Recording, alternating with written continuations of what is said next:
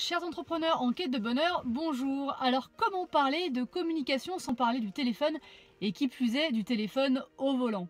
Et comme on revient tout juste d'un petit aller-retour à Toulouse, donc 10 heures de route, bah, j'ai trouvé que le thème était plutôt à propos. Alors il est vrai qu'en tant qu'entrepreneur, on est souvent amené à nous déplacer, à prendre la route et optimiser le temps en voiture est quand même bien tentant. Mais que se passe-t-il vraiment lorsque l'on téléphone au volant?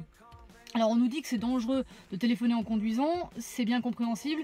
Il est vrai que prendre le téléphone d'une main et le volant de l'autre, c'est pas vraiment ce qu'il y a de plus sécure. Mais finalement, c'est la raison pour laquelle on est généralement équipé, soit d'oreillettes Bluetooth, ça non plus on n'a pas le droit, euh, de kit main libre. Bref, les véhicules maintenant sont équipés pour la plupart de ces dispositifs. Mais pourtant, ça aussi, c'est remis en question et c'est même interdit. Pourtant, j'ai le droit de parler avec mes passagers, euh, donc je suis bien en droit de me dire que c'est quand même la même chose puisque je ne tiens rien à la main. Eh bien non, en fait les neurosciences nous expliquent pourquoi. Il se trouve que des chercheurs de l'université du Wisconsin-Madison se sont rendus compte que lorsque l'on parle au téléphone, eh notre attention se détourne inévitablement de la route. Alors que dans le cas d'une conversation avec un passager, eh bien notre cerveau, le fonctionnement, est partagé vraiment en deux. Il y a le cerveau qui conduit, et qui concerne donc le cortex pariétal et occipital, et celui qui discute c'est le, lobe temporal et le lobe frontal. Et ces deux fonctionnent indépendamment l'un de l'autre. Un petit peu comme dans un split brain en fait. Donc quand on sait à quel point il est important de vivre l'instant présent pour être heureux, et eh bien dans le cas de la conduite, c'est encore plus vrai puisque c'est vrai pour vivre tout court.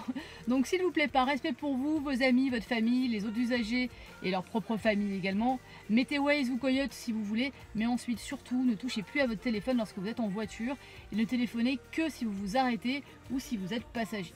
Profitez plutôt de ce temps de route pour écouter ou réécouter des vidéos et vous former.